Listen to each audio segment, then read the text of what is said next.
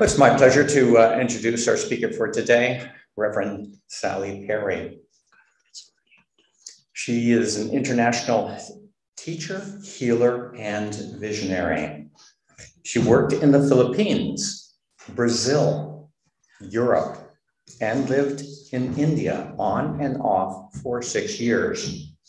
Swami Sally has a 501c3 that helps take the children off the streets of India. Reverend Perry was an official observer at the 2000 World Millennium Peace Summit at the United Nations. Received the Hampton Roads, of Virginia Outstanding Businesswoman of the Year Award and was a Unity Church teacher in Virginia Beach in the late 1970s. She created a center in Rockville, Virginia from 2002 to 2017, teaching Native American uh, teachings as well as for Eastern teachings, combining all she's learned from her mentors and experiences. Paul Solomon ordained her in 1992 for a minister of healing at our fellowship. Please welcome Reverend Sally Perry.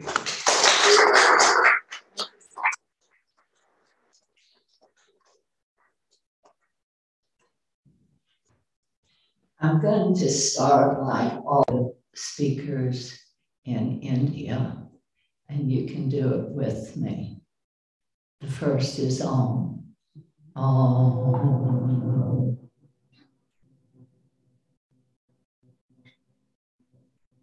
Three Shantis. Shanti. Shanti. Shanti. I'd like to honor Paul Solomon for all his work and today to welcome and honor the spirit of Sharon Solomon as she is hopefully going to sleep, I am told, in Japan. It was wonderful to hear her do the meditation. Since today, awareness is the art of meditation is what I'm going to speak about.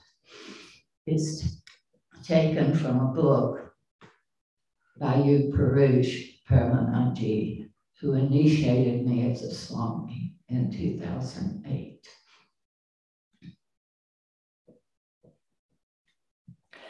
I use the breath, so you will hear breathing. I do not have a disease. I do not have Parkinson's. I've been tested. The energy runs very high in my body. And the more people I'm around, I shake more. That's why for years I've sat down to talk. Now I'm going to turn this upside down, which turned upside down for me two nights ago when I read something from Francis Bora, which encompassed Edgar Cayce being questioned. And here's what it said. Question 18 Should the Christ consciousness be described as awareness? Within each soul, imprinted in a pattern on minds and waiting to be awakened by the will of the soul, each soul's oneness with God. I thought, I'm at the end of my notes and Francis sends me this.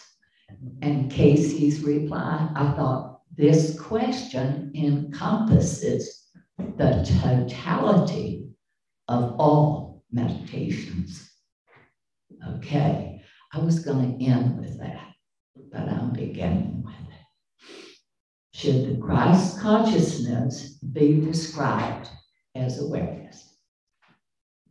Awareness, awareness, awareness.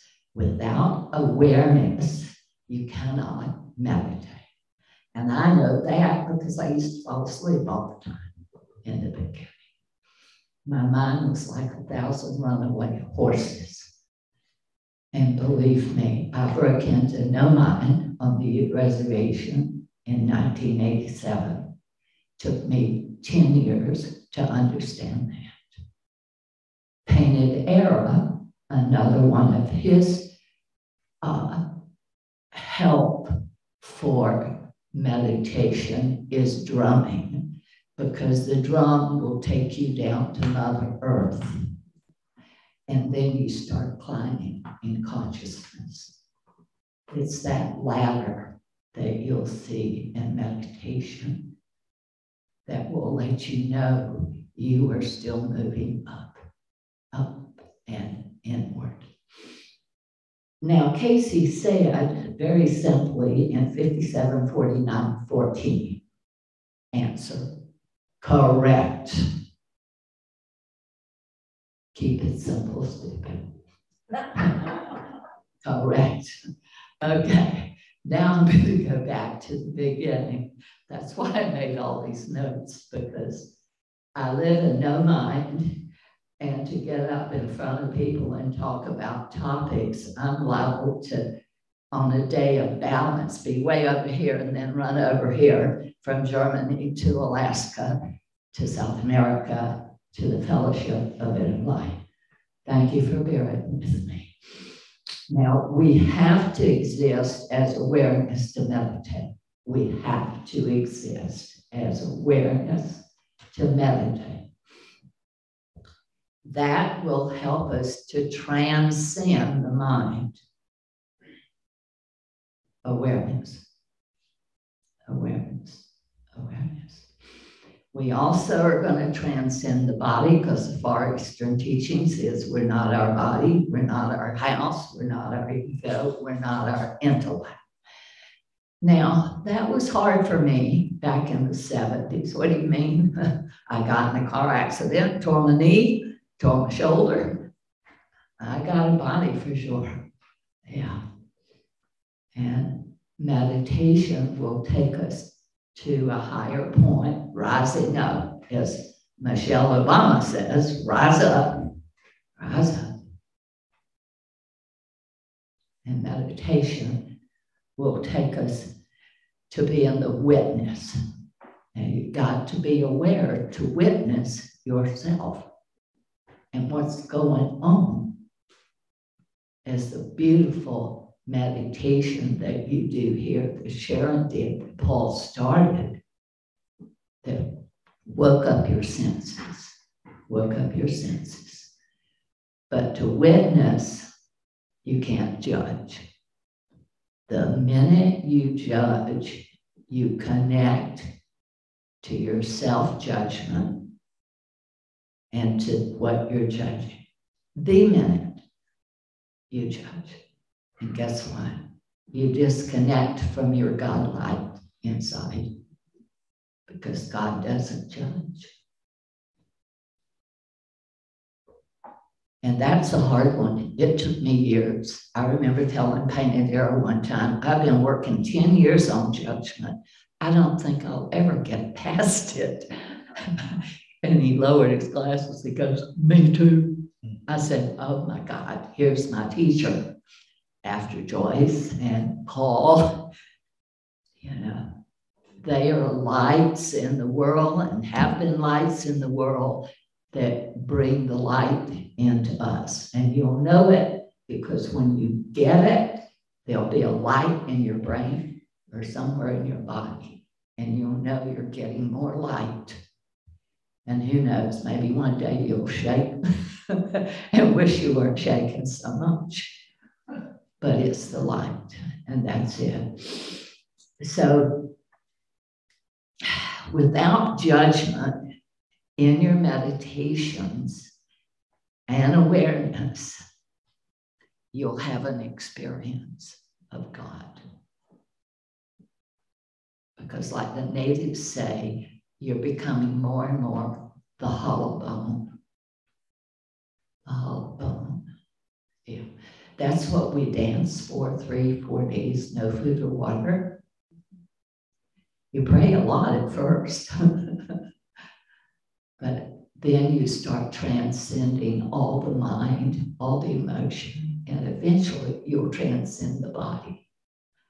For me, I had 12 dances in nine years when the light hit me in hard and sent me to India to live, to integrate the light, the cosmic light. There was no teacher or land in America, I was told, that could help me integrate the light I would receive. Now, then the next thing is, oh my God, you know, we got to achieve, we got to do this. And I was that I had be in business and five businesses, and I wanted to be number one. And I went to New York every year with all my people so they could see how great this world was. Yeah. But I thought I was the doer. It was much later in my healing work that I realized I didn't do anything but work with hollowing out, connecting to the light, and letting the light do the work. That non doer is really hard. And the only way I got much easier with it was to connect, do my prayer, and say, God, you do it. Get out the way. Get out of the way. So as we now meditate, we are developing our emotional body and our devotional body and our mental and spiritual body is all being developed with meditation because of our devotion. And Alex taught me a very simple, the psychic surgeon. Sally, we have two bodies. We have a spiritual body and a physical body. You have fed the physical with your teachings and your work. But now you must feed your spiritual body and be aware of your physical healing spirit. So you must feed it. It's the same thing with relationships. You've got to feed the relationship spiritually and physically.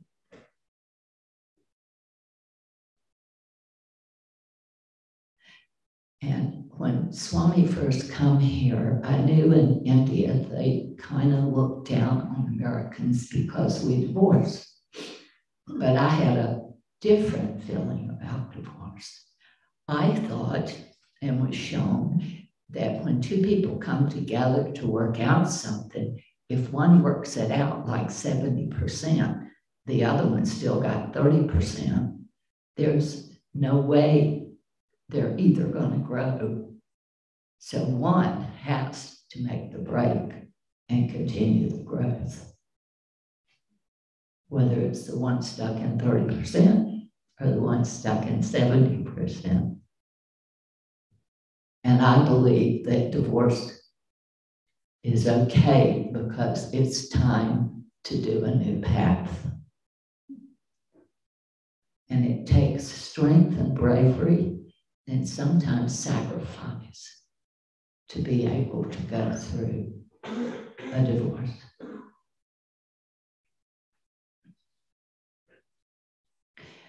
Meditation is the journey in consciousness, it's surrendering all to God to become choiceless. We had so much fun in India with choicelessness that the saints could take one piece of candy, but they couldn't tell us they wanted two or three. But I could hear or feel they wanted more, you know. So I had fun with that. So when Swami come to America, uh, I was sitting, and normally you don't at a table with a sadhu uh, or a guru, I should say.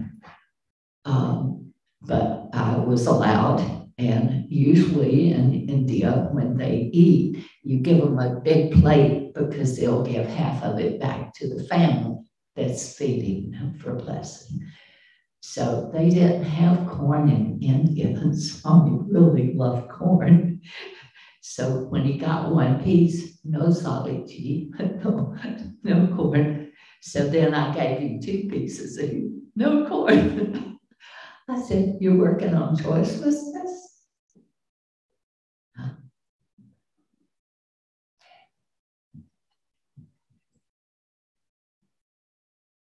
The journey ultimately will clear your mind. When I first come here, the 70s, people were coming to me, uh, should I go take this meditation and learn to bend forks? And to me, it felt like a waste of energy, but if you need to do it, fine. Because later, I needed to firewalk once. And most people would think, yeah, that's crazy. Well, actually, it was a group of Paul Solomon, Jerry Teplitz, and all of them knew, you know, I was a businesswoman, so they're, you're gonna burn your feet, you're gonna burn your feet. so I kept praying, and I decided I would join hands and not walk. But as it ended, Spirit said, let go of the hand and walk and I walked and I did get burned. Afterwards, in sharing the people from Japan that were here, the one girl started crying. She said, I didn't walk because the turtles in the river here, they couldn't breathe. So I gave my energy to the turtles. So I started crying and said, next time I'm going to give my energy to the turtles. I need to do it once without judgment. And again, uh, when you're trying to go in meditation and it's hard, I did my forgiveness work first. I did it, I learned the basic in becoming a unity teacher, but I took it out into the world, into my other work with Paul and with um, uh, Alex Orbito and with Joseph Rael, and finally into India. Each step was beneficial, all of it. Even if you need to burn, bend a fork, I guess. And of course, I could see with his meditation about taking the candlelight inside they weren't teaching that at first, just to watch the light. And once you separate, it's not inside. That's where judgment comes in. You separate yourself from God when you judge yourself or others. God is always connected. God is always connected. We are the connectors to, what's inside of us.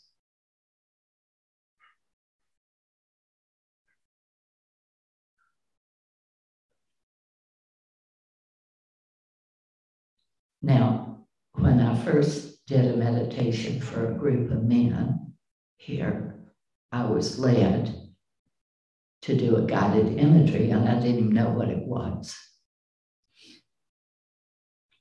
There were like 32 men. And I just led them through. And then when it was time for him to come back, I said, take a deep breath and come back. And nobody came back. So I got all these businessmen with their heads down and I said to Spirit telepathically, This is not funny. Tell them again. Take it. Finally, the third time, take a very deep breath and come back from the river. and they came back. Well, the economist had invited me to, he was, they were speaking at the ARE to a private little party. And when I got there, he introduced me as the only woman that would be brave enough to go to the Optimist Club and talk on meditation and take them so far out they couldn't get back. Yeah.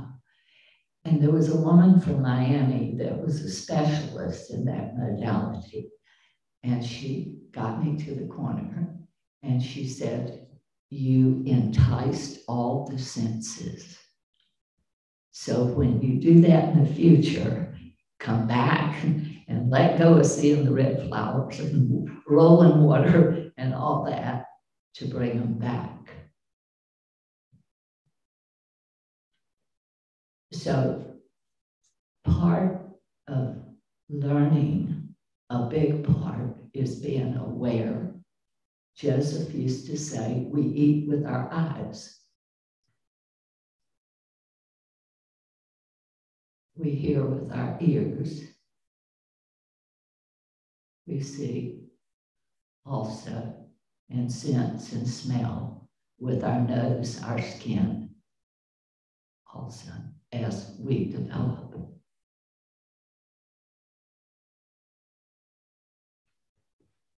And between each word, the space is God.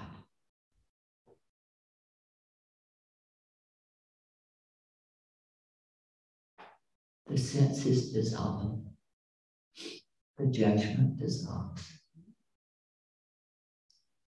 The body dissolves.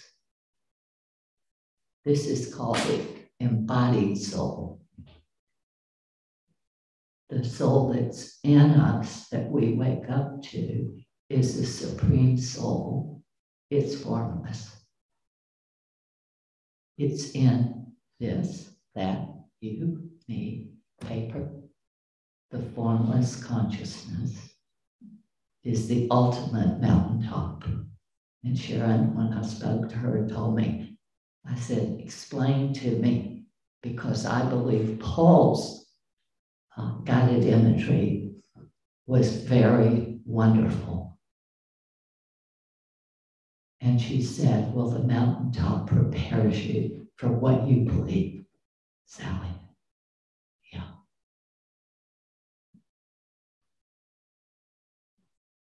And when I first started in the work, especially with Alex, everybody wanted to have an OBE, out of body experience, and most of them needed to have an IBE, in body experience.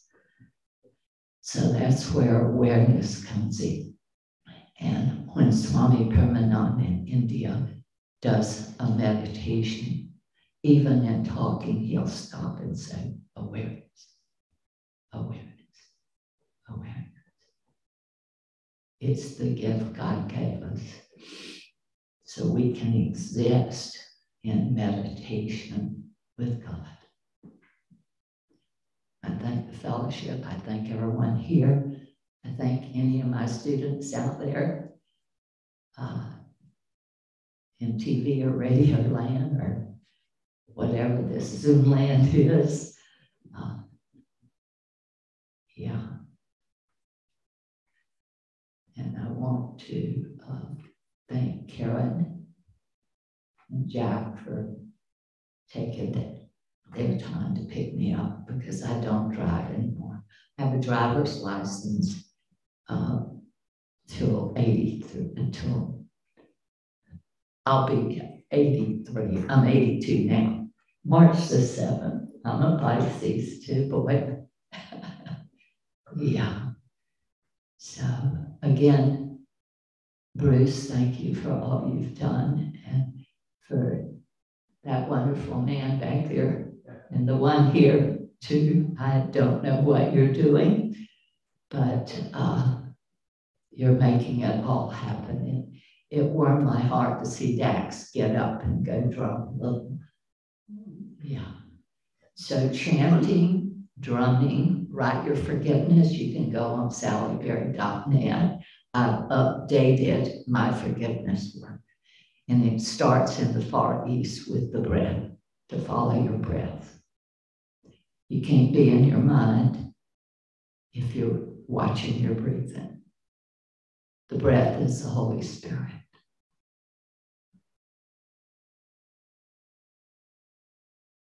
And we all are Holy Spirits in God's eyes.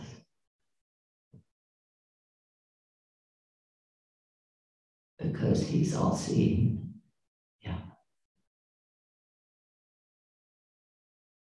I'm so grateful to have come back to Virginia Beach for a few years. it's wonderful to see some of you all. And it's even more wonderful to know that Sharon is in Japan. Alex used to always tell me if I learned Japanese, he'd take me there because I had some, God gave some miracles with my work there the Japanese people.